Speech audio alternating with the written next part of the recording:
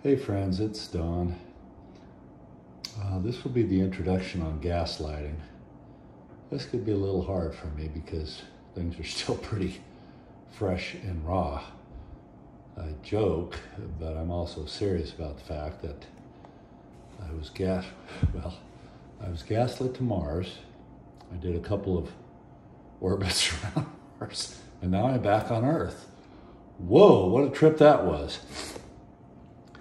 And in other stories, I shared that in this pain, no, I felt like in my Catholic tradition, I was up on the cross with Christ, who did say, Father, forgive them, for they do not know what they're doing. Uh, that's kind of when I became a universalist, and I believe that them as all humans, all of creation, I think we will all be saved.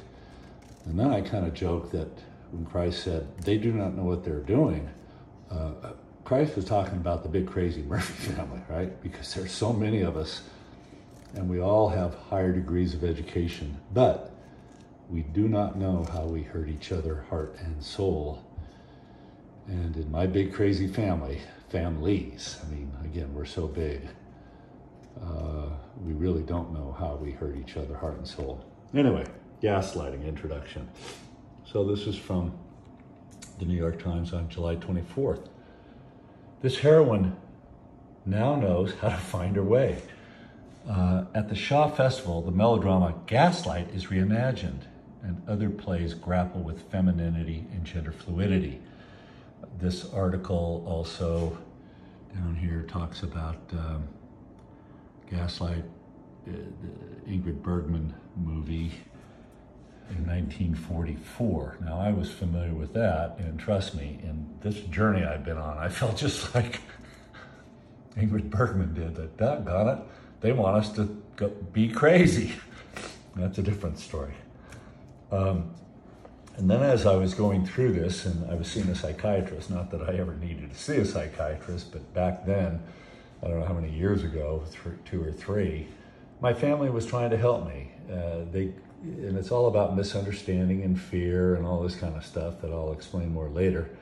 Uh, but I gave the psychiatrist I was seeing uh, the only book I could find on gaslighting. Now, what I don't like about this now, having been gaslit to Mars and now back on Earth, is I don't like the harmful language that our psychologists and psychiatrists come up with, recognize manipulative and emotionally abusive people and break free.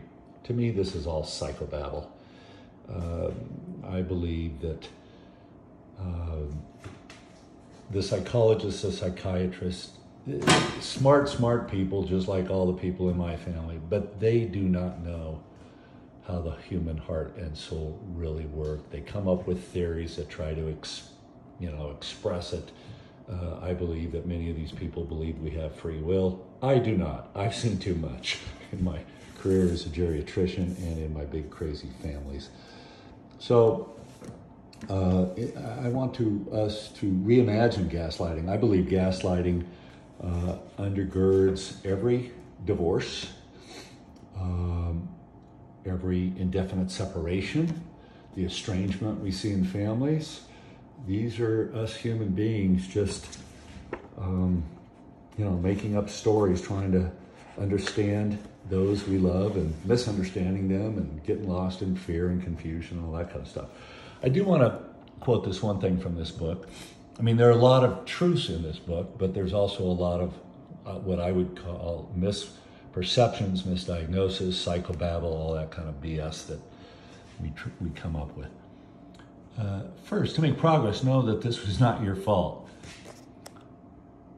So you're just, oh, sometimes you are just born with bad wiring. Hey, how about this? How about all the time we human beings are born with bad wiring? It's genetic. In other words, we're just a constellation of, of uh, millions of genes that determine our personalities, our psychological makeup, our spiritual predilections, physical traits, blah, blah, blah, blah. And, and as I will cover in other uh, stories in uh, The Crazy Murphys, everything leads to forgiveness. That's what God has imbued in all of us. So no matter what trauma we survive, we end up, if we don't die right away and go to the BFP, I call it, we end up forgiving those who have hurt us. And so back to this key thing, uh, key insight I now have about gaslighting. It,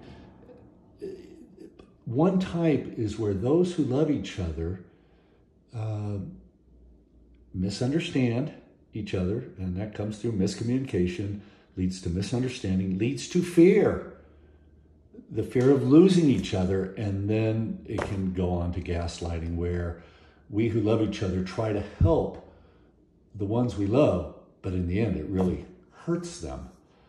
Um, yeah, and then, like I say, I got gaslit out of my own profession. How about that? there are many crazy stories there.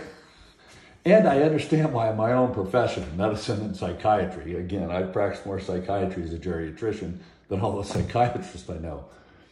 Um, I understand now why there was complete denial of this uh, thing called gaslighting. I get it now. I'm going through the system going, hey, folks, this is about, here's the diagnosis. It's grief. I've been gaslit from my family.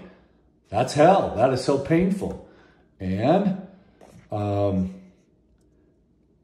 I said, it's gaslighting. And, you know, the professions, you know, including the psychiatrist who, who were taking care of me when I voluntarily admitted myself to a psych hospital to show my family I'm not really crazy.